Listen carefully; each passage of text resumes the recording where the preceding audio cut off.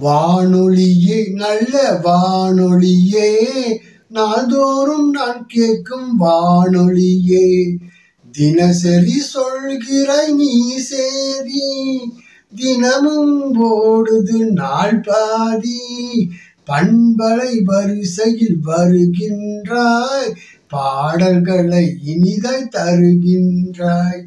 கம்பியில்லா தொலைத்தொடர்பு ஊடகமே.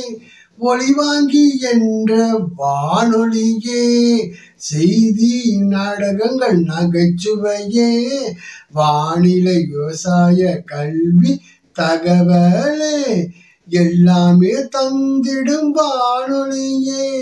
என் சிறு வயதில் நான் விரும்பிய ரேடியோ நீ.